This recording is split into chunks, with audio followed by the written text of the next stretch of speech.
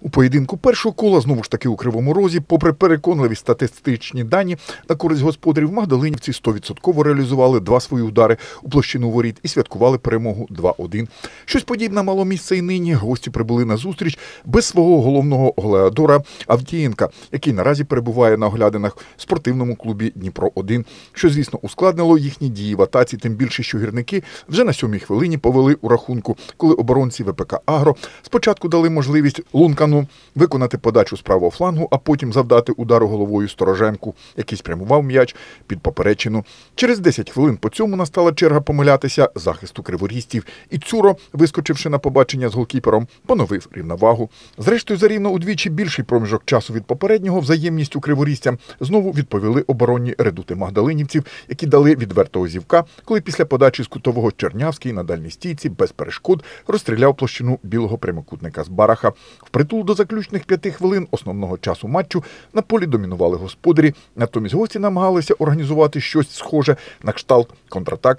Втім, виходило подібне у них непереконливо. І коли здавалося, що криворізці реваншуються за поразку в чемпіонаті, голуб у власній карній зоні збив капотю, який вийшов на заміну у магдалинівців, і корж пострілом з позначки перевів поєдинок в овертайм. Спантеличені подібним і, звісно, неймовірною спекою, адже матч розпочався об 11 годині. Гірники дали можливість Соколянському вільно отримати сферу у штрафному майданчику, яку він гарматою запустив у гузир сітки воріт.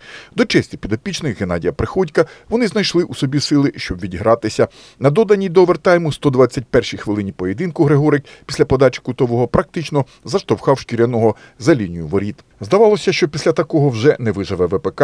Втім, на сьогодні у нього на останньому рубежі є досвідчений голкіпер з барах, саме фахівець з пенальті. Він ледве не перервав перший удар Дороша, але пропустив. Потім бездоганно з позначки почергово били Цибін у гостей, Романчук у гірників і Клименко у магдалинівців, допоки не почали у футболістів здавати нерви. Першим помилився криворізець Бука, який струсонув поперечину. Потім у ВПК Агро схибив Соколянський, який не зміг переграти воротаря. Потім на авансцену подій вийшов вище згаданий Збарах, який став переможцем у дуелі з Литвиним.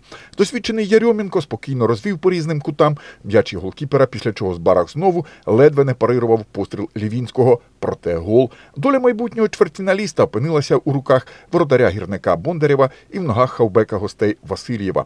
Останній тріснув прямо по центру площини білого прямокутника, тоді як його опонент завалився у лівий від себе бік. Все, магдалинівці крокують далі. Вдруге поспіль у сезоні долаючи гірників на їхньому полі. З матчів, що завершилися на цю пору, подібна драма, як у Кривому Розі розігралася і в Синельниково, де місцевий Дніпро Агро приймав авангард з покрову. Після нічиєї також 2-2 в основний час господарі на 120-й хвилині врятувалися від поразки в додатковий, а в серії після матчевих пенальті вони були сильнішими 4-2. Вікторія Задамівки Керничанського району вдома 1-4 поступилася Криворізькому ІДС, а Царичанський Майсадур у рідних стінах 0-2 2 зазнав поразки від кристалу з Губиніхи. Шахтарю з Марганцю зараховано технічну поразку за те, що він не вийшов на домашній поєдинок проти Петриківки. Ще низка зустрічей відбудеться у неділю. Томаківський скорук вирушить у П'ятихацький район на зустріч штурмом. А в Софіївці Колос прийматиме сусідів з недай води Криворізького району. Криворізький кривбас чекає на побачення вдома скіф з Дніпра.